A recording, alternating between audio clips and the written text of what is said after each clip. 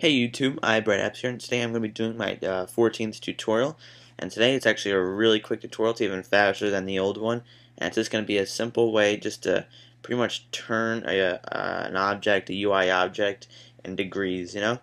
I find that, you know, it's not available on the web that much, and it's hard to find, so I'm just going to make it easy in, in video form. So I'm just going to make it um, rotate UI object.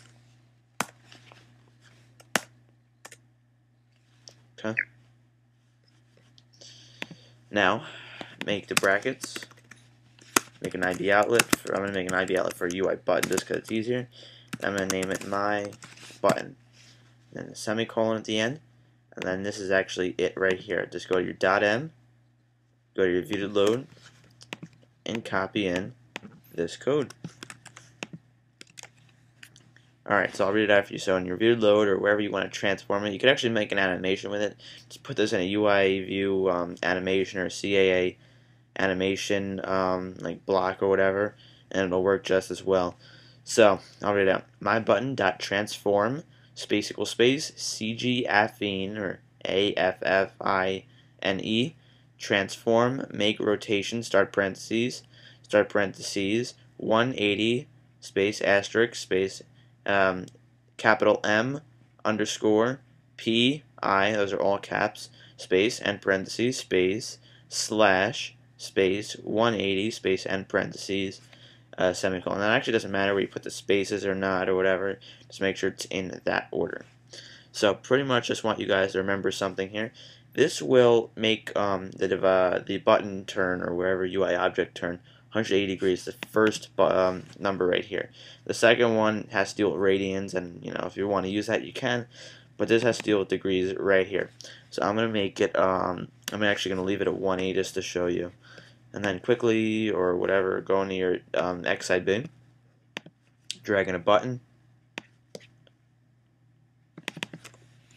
button.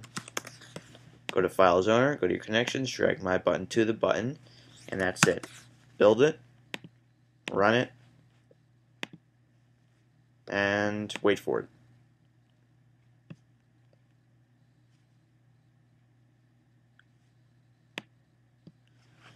I swear it takes like a minute for these simulators and whatever to compile and load up. It's ridiculous.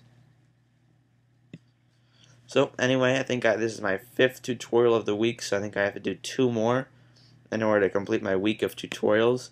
And um, yeah, I think I said in one of my uh, previous tutorials that I was going to expand on the UI image peer controller, and yes, that'll be one of my um, tutorials next. So anyway, as you see in the view did load, it did turn 180 degrees.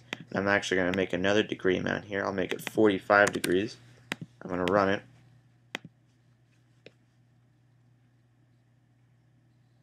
And you'll see that it's turned 45 degrees and it still works perfectly. So I didn't connect any action, that's why it's not doing anything, but otherwise it works perfectly and it's just sideways. So this is good if you want to add some like special element or whatever to your app and make it look a little bit crooked, you know, if, if that's the style. So hope you enjoyed it. I hope you enjoyed this tutorial actually, and the source code will be in the description. Thanks for watching.